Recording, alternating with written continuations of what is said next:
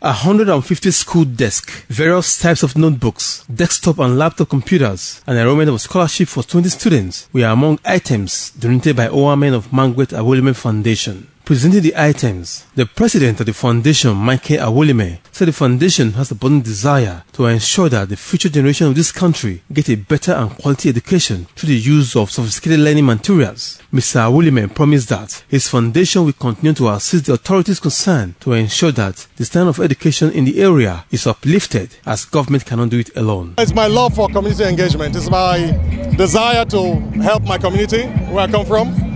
I believe education is a very key part of our development of the future generations. So there are so many things I can do today, but I choose to do things that will enhance and connect the students here uh, in the global, with the global, uh, with the world at large. Receiving the items, Commissioner for Science and Technology, Barrister Emmanuel Agbali, who was accompanied by the Permanent Secretary, Ministry of Science and Technology, appreciated the foundation for their gesture, adding that support of this nature will not only encourage government to do more, but help in meeting the needs of the people. On his part, the principal of the school, Engineer Gilbert Egwakide, said the school population has risen from 80 to 640 students in recent times, stating that the gesture is coming at the right time. He, however, appealed for more assistance from other well-meaning Nigerians. People are beginning to appreciate government's huge investment in education, particularly uh, vocational and technical education. You can see what is going on in the premises, the perimeter fencing, infrastructural rejuvenation, and so this is just to support government effort.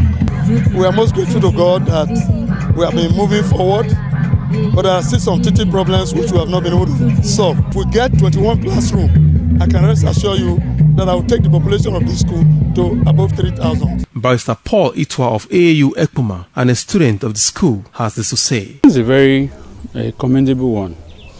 It's what uh, every person should emulate. We don't have to leave everything for government.